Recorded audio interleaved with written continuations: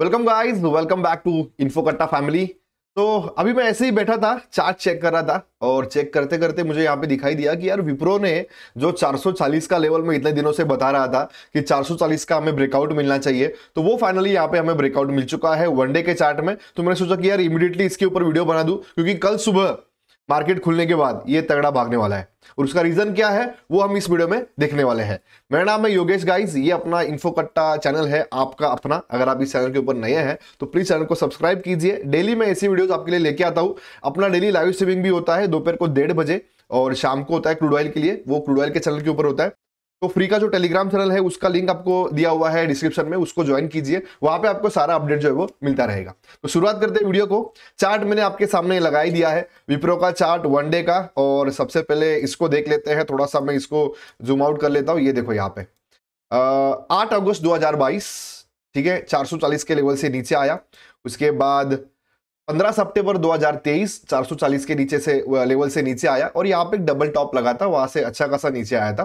Finally जाके 18 तारीख को सॉरी 15 तारीख को यहाँ पे फाइनली जाके हमें एक ब्रेकआउट जो है, वो मिल चुका है। काफ़ी अच्छा ब्रेकआउट है 440 का लेवल अगर आप यहाँ पे ऑल टाइम हाई की अगर मैं बात करूँ मार्केट ओवरऑल टोटली हाई पे है। आपको पता ही है, सारे के सारे स्टॉक जो है, वो बुम में है, लेकिन विप्रो अभी भी नीचे है।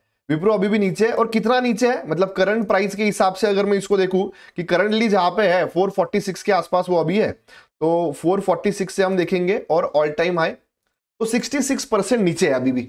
मतलब जितना ऑल टाइम हाई लगाया था उसने 2021 में 18 अक्टूबर 2021 तो यहाँ पे ऑल टाइम हाई से लगभग 66 परसेंट ये अभी नीचे है। तो वनडे के टाइम फ्रेम के हिसाब से जो ब्रेकआउट मिला है, उसके हिसाब से हमें यहाँ पे इन्वेस्टमेंट का काफ़ी अच्छा मौका मिल रहा है। अगर आप monthly expiry buy and hold करना चाहते हो तो भी कर सकते हो बट आज तारीख है सेवनटीन कल रहेगा, अठारह तारीख जब मार्केट खुलेगा। तो नॉर्मली पंद्रह तारीख के बाद इस मंथ का अगर आपको एक्सपायरी लेना है तो आपको चार से पाँच दिन ही उसको होल्ड करना होता है। बीस तारीख तक, क्योंकि उसके बाद उसका प्रीमियम डीके जो है वो चालू होता है और बहुत फास्ट होता है। तो अगर आप लेना चाहते हो इस मंथ का एक्सपायरी तो आप 450 का कॉल भी यहाँ पे खरीद सकते हो, जिस प्राइस पे चल रहा है उस प्राइस पे। और लगभग आपका जो भी इन्वेस्टमेंट होगा, उसका फाइव टू सेवन परसेंट का आपका रिस्क लेना है आपको। बाकी टारगेट तो ओपन है। ओपन मतलब क्या है? बेसिकली यहाँ पे देखो 480 का यहाँ पे नॉन स्टॉप टारगेट मुझे दिखाई दे रहा है।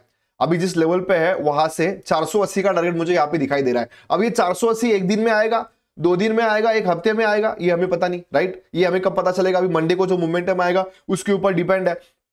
तो अगर आप इस मंथ का एक्सपायरी ले रहे हो 450 का जो स्ट्राइक प्राइस है उसको बाय कर लो एंड होल्ड कर लो। पाँच छह दिन देखो अगर प्रॉफिट में आ जाते हो तो एग्जिट हो जाओ। अगर नहीं आते हो तो नेक्स्ट एक्सपायरी में आपको शिफ्ट होना है जो कि रहेगा आपका जनवरी का एक्सपायरी उसमें आपको शिफ्ट होना है। ओके तो यहाँ पे जो लोग बाय एंड होल्ड करना चाहते हैं कैश में बाय करना चाहते हैं उनके लिए टारगेट्स क्या क्या रहेंगे? चार सौ अस्सी का टारगेट तो मैंने आपको बता ही दिया है जो कि एक्सपेक्टेड है आने वाली दस से पंद्रह दिन में आ, मिल जाए हमें। इस मंथ एंड तक वो टारगेट हमें मिलना चाहिए।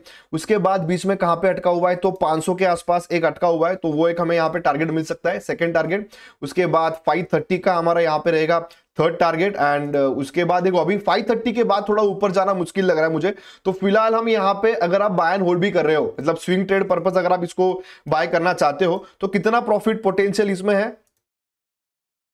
लगभग 18 परसेंट का। तो 18 परसेंट यहाँ पे कितने दिन में मिल सकता है? तो मुझे लगता है कि डेढ़ से दो महीने में आपको यहाँ पे मिलना चाहिए। मतलब जनवरी एंड या तो फेब्रवरी के मिड तक आपको यहाँ पे मिलना चाहिए। जिस प्रकार से अभी मार्केट मोमेंटम दे रहा है, उस प्रकार से तो यार ये जल्दी ही आएगा। लेकिन मैं सेफर साइड आपको थोड़ा सा दूर का बता रहा हूँ। अगर आपने कैश में बाय किया तो आपका स्टॉप लॉस क्या होगा? ब्रेकआउट वाला जो कैंडल है, उसी का लो आपको स्टॉप लॉस लगाना है। आपको अगर सेफली ट्रेड करना है तो जो कि रहेगा 433 का। अगर आपको थोड़ा सा रिस्क लेना है तो आप 424 का भी स्टॉप लॉस लगा सकते हो, जो ये बड़ा कैंडल बना था इसका।